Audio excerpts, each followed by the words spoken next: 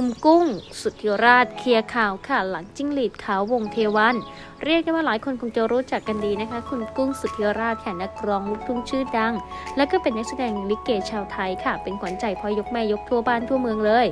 ล่าสุดทำเอาหลายคนสงสัยว่ากุ้งสุทธิราชกับคุณจิ้งหรีดขาว และน้องสาวอย่างวิเวียรดาทำไมถึงไม่มีผลงานลิเกหรือผลงานอะไรด้วยกัน ทุกคนทำเต็มที่เลยดูออกเสมือนจริง จนหลายคนมองว่าน้าหลานหรือพี่น้องคู่นี้พวกเขาจะเป็นแฟนกันจริงหรือเปล่า ล่าสุดนี้ กุ้งสกิราชเปิดใจเคลียร์ประเด็นนี้ค่ะ ผ่านทางรายการโต๊ะหนุ่มแหม่มพร้อมเผยเหตุผลที่ไม่ต่อสัญญาค่ายเก่าอย่างอาสยาม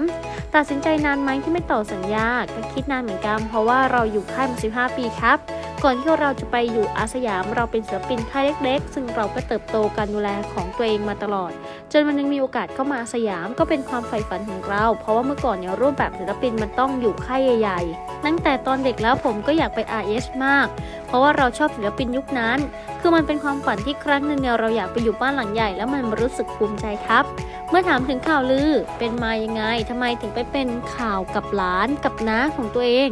แล้วก็ในยุคนั้นเนี่ยเราเป็นพระเอกนางเอกคู่กันครับ ซึ่งคนดูอินมาก เพราะเราเล่นกันจริงหอมกันจริง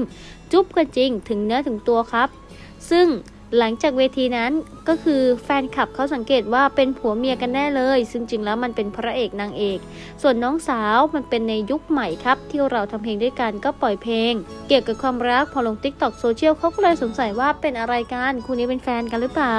พอเราทำคลิปขำๆว่าสรุปแล้วเป็นอะไรกันเราก็เลยตอบว่าอ๋อเป็นผัวเมียกันมันก็เลยไม่จบ